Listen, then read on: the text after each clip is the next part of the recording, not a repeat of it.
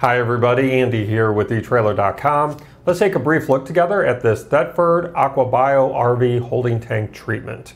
Now this treatment is going to break down waste and RV toilet paper in your black water holding tank.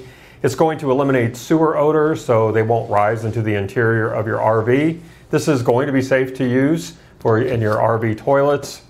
And this enzyme treatment is actually going to liquefy waste and toilet paper, preventing clogs. It is formaldehyde free and Bronopol free. And the formula is also approved for use in California. And what you'll do is you'll just take one pre-measured pouch and that's going to work with your 40 gallon holding tank. The biodegradable material is going to easily dissolve in your holding tank. And this does have a citrus twist scent. So what that means is there's not going to be any chemical odors that are left behind. So again, this is going to be for your 40 gallon Blackwater tanks. The pouch size is 1.5 ounces and you're going to get 30 of those pouches.